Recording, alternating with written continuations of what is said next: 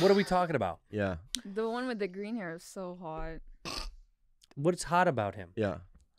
That guy's hot. He barely has any facial features. Do you flick your bean to this stuff? Do you strum the guitar to this? Do Yeah. you get Look, look! Oh, that guy's hot? oh my god! I'm so confused. Because he, has- he has two abs and a scar on his face. Look at how big so his mouth is. Yeah, huge teeth. But he uses three swords.